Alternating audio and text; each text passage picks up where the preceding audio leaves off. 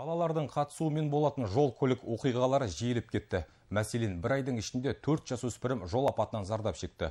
Жол менікі деп тайраңдайтын тентек жүргізушілерді тезге салу мақсатында полицейлер арнайы рейд ұйымдастырды. Тақырыпты тілші тарқатады.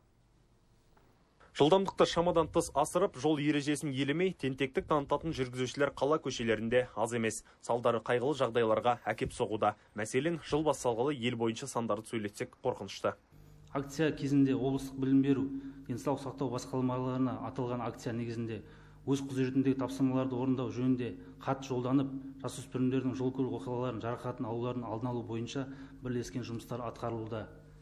Профилактика сабақтары жол жүрісі қауіпсіздігі тақырыбында сабақтар дәрістер ата аналар жиналысы жергілікті тұрғындармен жол қозғалысы ережелері төңірегінде әңгімелесулер және көлік құрал жүргізушілеріне ескерту бойынша жұмыстар қарқынды жүргізілуде. Акция барысында жергілікті ведомстволар мен мекемелер тартылып соның ішінде 14 мемлекеттік емес ұйымдар атсалысуда. Бұдан бөлек жолдағы қауіпсіздік бойынша облыс көлемінде үгіт насихат жұмыстары да қарқынды жүргізілуде.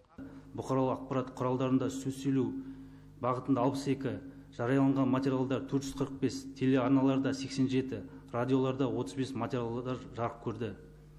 Облыс аумағында жол қозғалысы қауіпсіздігі бойынша 105 бейнеролик және 160 аудиоролик әлеуметтік жарнамаларға шығарылып халық көп шоғырланған орындарда полиция қызметкерлерімен үгіт насихат жұмыстары жүргізілуде. Жалпы білім беретін мекемелерде және оларға жақын орналасқан аумақтарда жол жүріс техникасы бойынша 300 зерттеу жұмыстары жүргізіліп органдарға 288 ұйғарымдар жолданды. Қазіргі уақытта берілген нұсқама негізінде сұлтан бейбарыс даңғылында орналасқан номері 11 алтынсарин және тайманов даңғылындағы номер төртінші гагарин атындағы мектептердің сына ең жоғары жылдамдық шектеу жол таңбалары сызылды.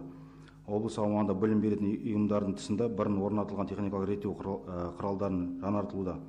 Атап айтқанда ағарып тісі өніп кеткен жол белгілері бір бөлігі жоқ жасанды жол кедергілері және зебра жол таңбасы сызылуда.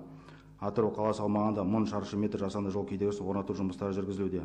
Балалардың жүріп тұруы үшін қауіпсіз жол жағдайларын жасау бойынша жергілікті атқарушы органдарға тағы да ұсыныстар жолданатын болады. Нұрсұлтан нұрсей жаңалық қызметі.